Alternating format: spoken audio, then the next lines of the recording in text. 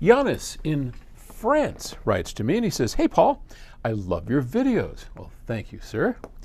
Is there any difference between physically turning the knobs on my amplifier to get the sound I want versus messing with an equalizer on my computer? Is one better than the other?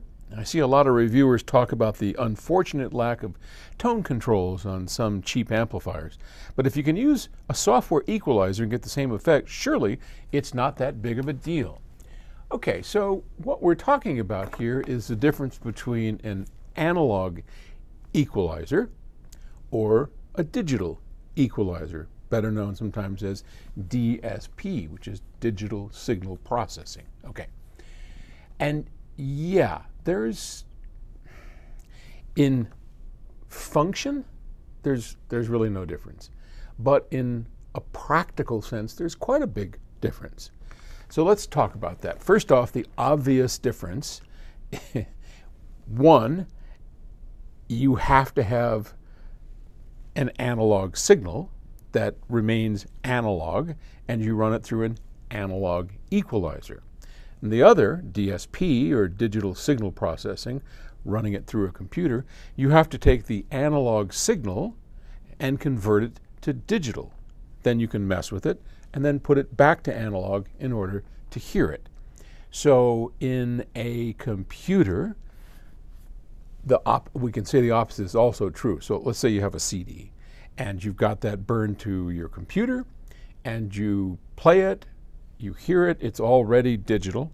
It's then being converted to analog so you can hear it. Well, in that case, there is no downside whatsoever. In fact, there's a big upside in using the DSP if it's already digital. And DSP is basically much better, much cleaner than analog when it comes to EQing, doing the work. We can make filters that are just about near perfect in DSP. In analog, on a preamplifier or a power amplifier or whatever a receiver, when you have a treble, bass, loudness control, that's all analog. And those sound, they can sound just fine. But technically, DSP is better. So, I guess the quick answer to that is it all depends on what you're doing and why you're doing it.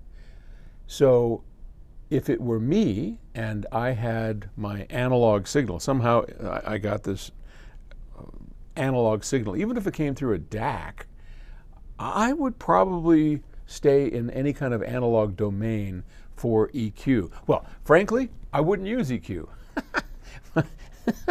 but that's me. Um, I, am just not a big fan of equal equalizing stuff. I, I, like EQ for things like oh a subwoofer, okay. So in our case upstairs we have a subwoofer that is low pass filtered, meaning everything below a certain frequency is let through and everything above is eliminated. And that uses an analog filter, and it's just fine. I wouldn't want to convert it from analog to digital just to do the EQ and then back again. That makes no sense to me. So I guess, again, if you're already in the analog domain and you have tone controls, then using the knobs on there is probably the better way to go. If you're already digital, if you've already got your music into the computer, then by all means use the computer's EQ. So hope that's hope that's something that you can make some sense out of. All right. Thanks for the question. Talk to you tomorrow. Bye.